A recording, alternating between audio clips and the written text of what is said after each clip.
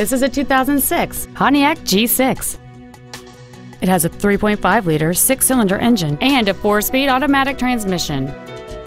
Its top features include a keyless entry system, a CD player, fog lamps, latch-ready child seat anchors, and cruise control.